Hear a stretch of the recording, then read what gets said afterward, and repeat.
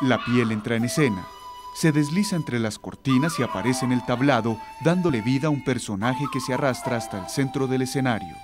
En medio de un despliegue de saltos, bailes, contorsiones y movimientos corporales rítmicos y delicados, aparecen los demás personajes que se mimetizan entre los decorados y le dan vida a la historia.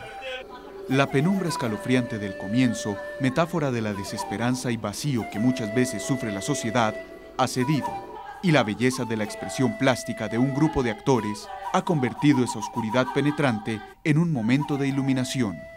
Luz para los ojos, conocimiento para el alma, reflexión para la conciencia. En ese momento, no solo estamos en el teatro, sino que hacemos parte de él.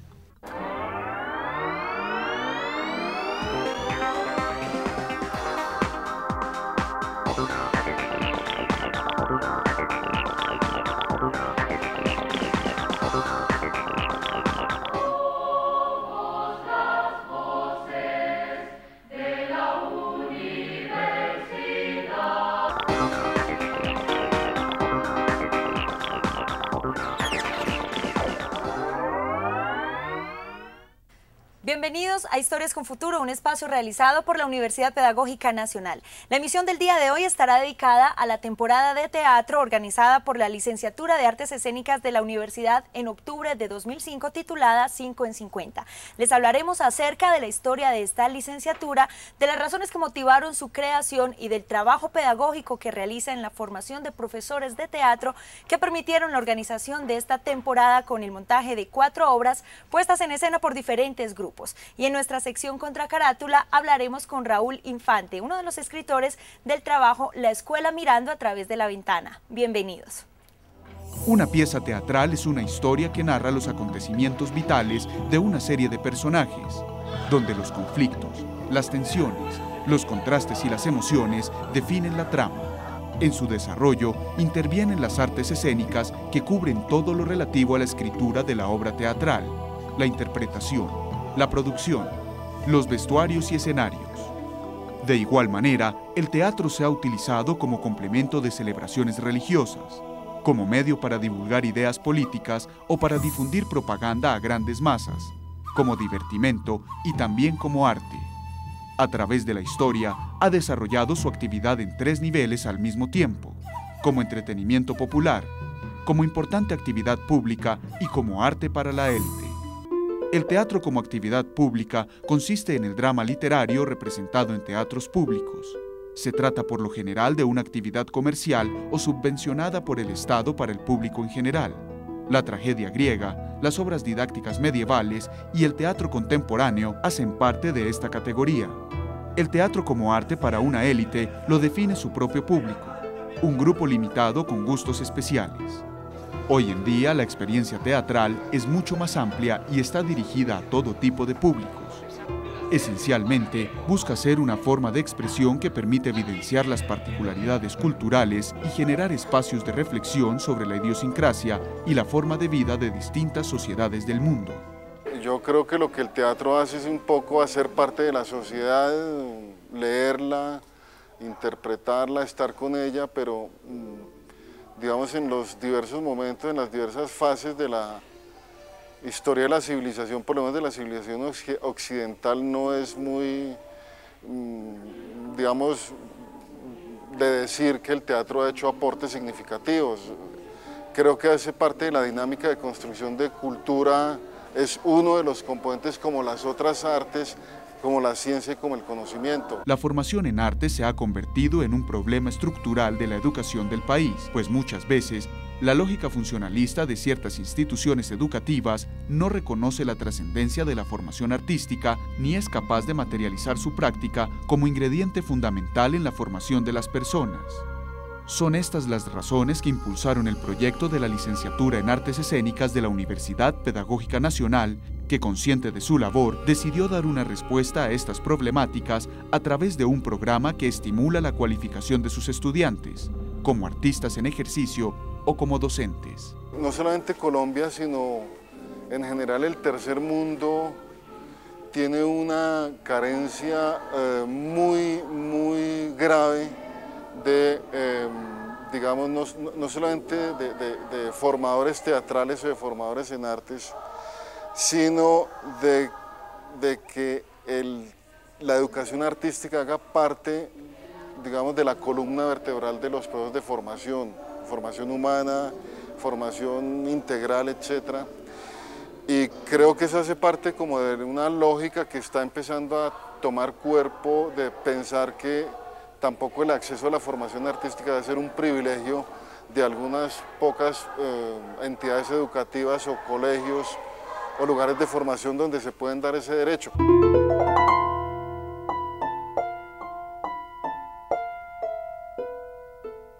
Eso tiene tres direcciones básicas. La primera, el vacío en la formación de profesores, es decir, de formadores de formadores en artes escénicas en casi todos los contextos, ausencia de escuelas en ese tipo. En la ciudad existen apenas ah, tres escuelas en este momento, cuatro de carácter superior, y creo que somos la primera en establecernos como formación de formadores. El segundo criterio es, es tratar de generar una relación entre el teatro y la formación de docentes, en el sentido académico, profesional, riguroso y que propende por la autonomía en el aprendizaje. Y un tercer lugar, yo creo que las mismas características del país demandaban con carácter urgente que la Universidad Pedagógica liderara este tipo de procesos de formación con características alternativas, con alternativas propositivas e innovadoras dentro del ejercicio pedagógico profesional. El programa de la licenciatura en Artes Escénicas de la Universidad Pedagógica Nacional nació en el año 2001, con el fin de desarrollar un programa que promoviera la formación de docentes calificados, no solamente para el trabajo artístico en las aulas de clase, también en cualquier espacio que requiera del liderazgo de un maestro especializado en el trabajo teatral. Se ha buscado formar estudiantes para que comprendan los procesos pedagógicos que están implícitos en la enseñanza del teatro, para que conozcan los aspectos específicos del arte con el que trabajan y puedan diferenciar los diversos enfoques que deben desarrollarse de acuerdo a la edad, desde la niñez hasta la adultez, para así poder crear un puente entre el proceso creativo y el desarrollo integral del estudiante al que está formando. Nuestra característica primordial es formar profesores, pero eso no quiere decir que no posean conocimientos en actuación, dramaturgia, técnicas de actuación, entrenamiento, cuerpo, voz, historia del teatro, géneros teatrales y elementos de carácter teórico como la sociología, la antropología, la lingüística y la comunicación. Son elementos muy claves. Pero digamos que la dramaturgia pasaría a un segundo plano. Sin embargo, como estos estudiantes van a ser eh, digamos, gestores y animadores socioculturales van a generar experiencias artísticas en diferentes contextos socioeducativos, no solo en los colegios, sino ellos pueden también generar muchos desarrollos de formación en otros contextos.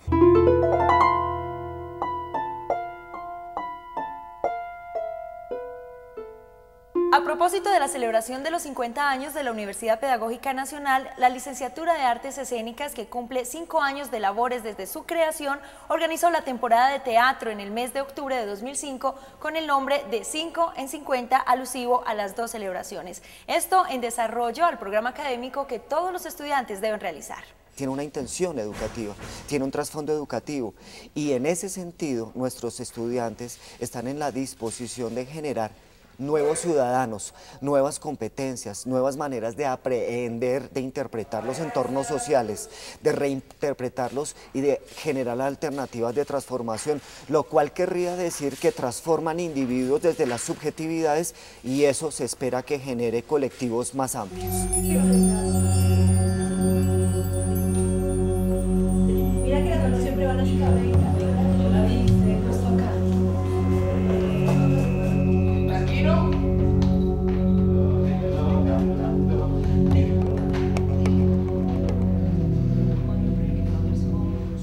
La temporada se llevó a cabo en el Teatro Camerín del Carmen de la ciudad de Bogotá con cuatro obras dirigidas por profesores y representadas por alumnos de la licenciatura. Estas fueron Las narices rojas, El burgués gentilhombre, Seis personajes en busca de autor y Las fenicias. Pero veamos un poco más a profundidad cómo fue el proceso de montaje y producción de algunas de ellas y las enseñanzas que le dejaron a los estudiantes en su proceso de formación.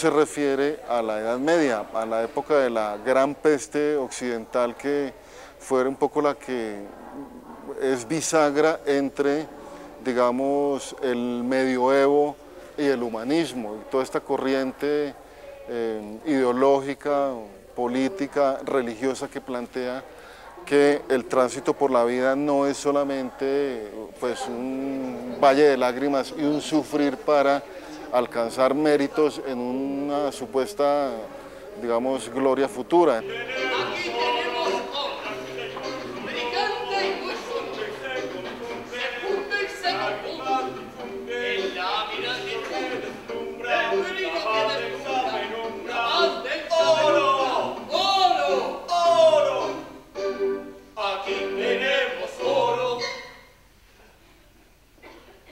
Montajes de la Universidad Pedagógica son de los muy pocos montajes en, el esquema de, la digamos, de los programas de formación universitaria en artes escénicas que cuentan con una posibilidad de hacer un, montaje muy cercano a lo profesional, en escenografía, en diseño de vestuario, en promoción y publicidad, es decir, como toda esa concepción está integrada al proceso de montaje, no hacemos sino un solo montaje de esta envergadura, pero es cercano como una práctica profesional en todo, su, en todo lo que ello significa.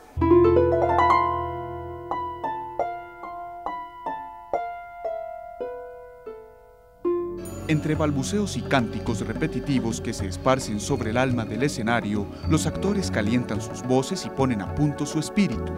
Invadidos por una mezcla entre nerviosismo y excitación, se desplazan sobre el tablado entre saltos y contorsiones, en una danza de bellos movimientos plásticos. Colorean sus mejillas con los tonos rosáceos del maquillaje y respiran por última vez con una profundidad inefable. Escogimos la obra entre todos, hicimos varias lecturas y luego empezamos a trabajar sobre una serie de improvisaciones alrededor de la obra. Luego hicimos un trabajo, eh, nos centramos mucho en el trabajo de construir el personaje eh, a partir del trabajo de máscara. Entonces, en la obra hay varios personajes que tienen máscara, entonces los personajes surgieron a partir de una búsqueda con la máscara. Mm, y se trabajaron de una manera indirecta, es decir, con la máscara no se buscaba tal personaje o tal otro, sino era la máscara en sí, como la energía que, que le podría dar a uno la máscara. La letra D se produce colocando la punta de la lengua en los dientes superiores. Da, da, da, da, da.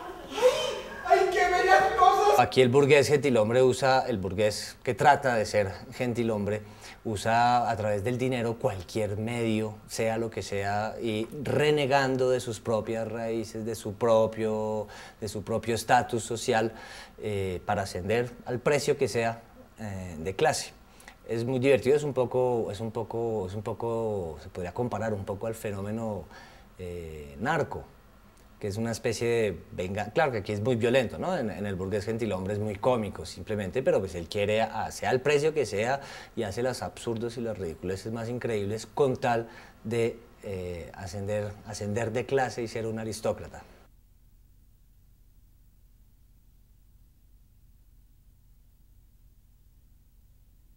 Antes de, de presentar la obra, generalmente hacemos un calentamiento Mm, corporal y vocal, que es como todo lo que nosotros hemos aprendido en los tres primeros años de la carrera.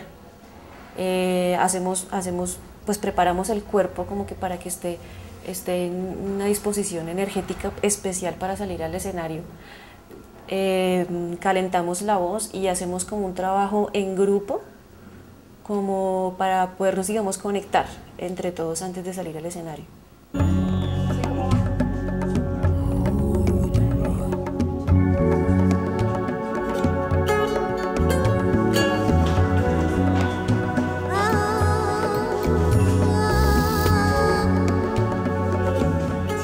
Un alumno que necesita, que tiene que hacer, que va a utilizar eh, como futuro profesor, pedagogo o en cualquier otro tipo de contexto donde va a estar en relación, en una relación pedagógica con otras personas, eh, es indispensable que pase por la práctica y por el conocimiento de todos los elementos que implica un montaje escénico, que implica eh, confrontar al espectador, la escenografía, las luces, el manejo del público, todo eso. Entonces es una experiencia fundamental en la carrera, indispensable indispensable para ellos y pues es de una riqueza inmensa porque pues como se, ha, como se ha organizado y con el apoyo de la universidad es realmente hacer un montaje lo más cercano a un montaje profesional.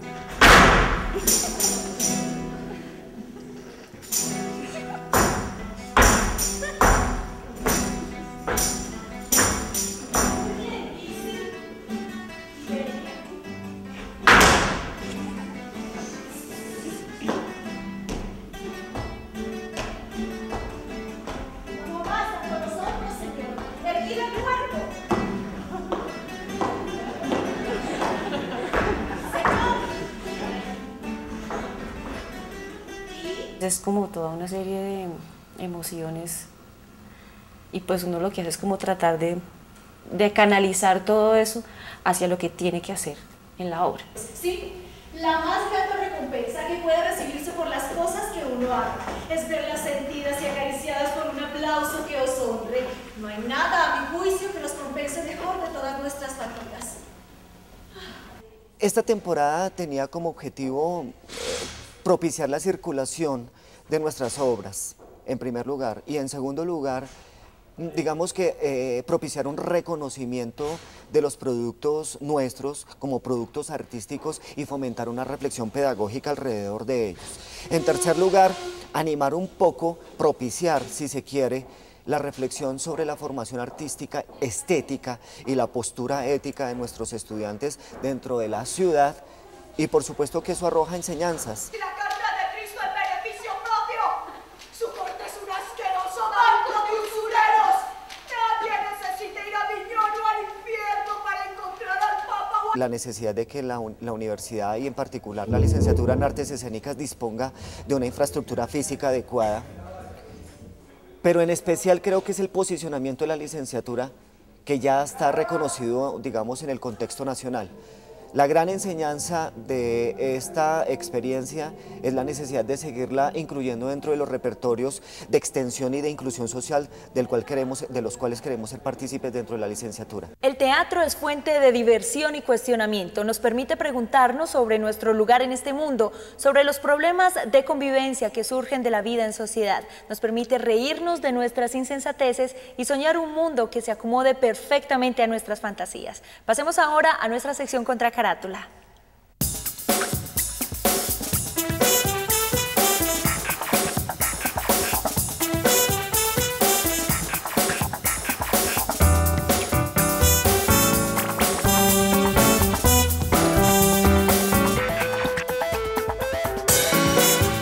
Bienvenidos a Contracarátula, un espacio donde los libros se encuentran con nuestras preguntas. Hoy estaremos hablando acerca de la cartilla La Escuela Mirando a través de la Ventana, escrito por un colectivo de docentes del Grupo de Investigación, Educación y Cultura Política de la Universidad Pedagógica Nacional y publicado en 2005. Por eso nos acompaña Raúl Infante, uno de los autores.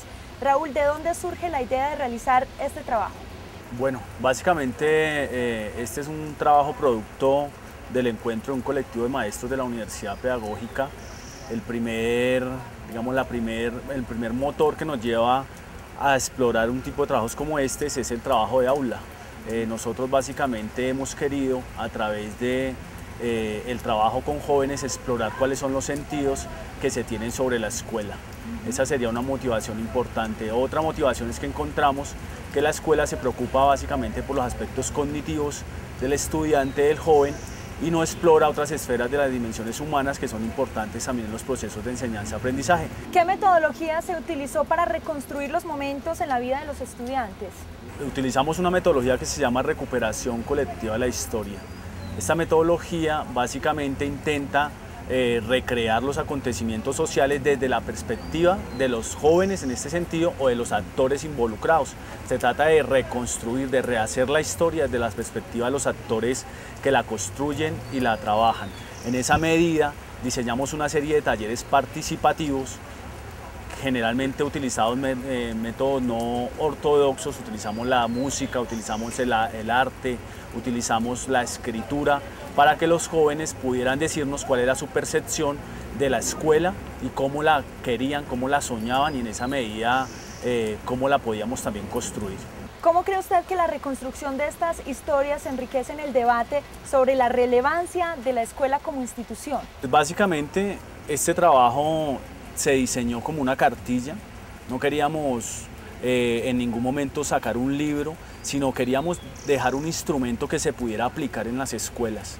Es una serie de talleres desde la perspectiva de la recuperación colectiva de la historia que pueden ser aplicados de manera directa por los, por los estudiantes como por los profesores. No necesariamente sobre el tema que nosotros exploramos, que era la identidad de eh, eh, los procesos de identidad juvenil desde la televisión, sino que podrían incluso eh, tomar otras, otras temáticas para ser aplicadas. Ya sabemos que hay escuelas o colectivos que las están intentando trabajar con diversas temáticas. Lo que más, digamos, rescataríamos para la escuela es que esta cartilla permite hablar con el joven, permite eh, explicar y decir cosas que generalmente no se dicen en el mundo de la escuela, que generalmente la escuela prohíbe, sanciona, normatiza pero acá nosotros las intentamos convertir en el centro y en el motor de la escuela. Bueno Raúl, muchísimas gracias y en este bello trabajo que busca recuperar la otra cara de la escuela que casi nunca es sujeto de investigación, también trabajaron otros profesores como Marta Cecilia Herrera, Alexis Pinilla, Vladimir Olaya la institución educativa distrital Almirante Padilla con el profesor Félix Ormizda y los alumnos del grado décimo del 2004. La próxima semana más contra Carátula.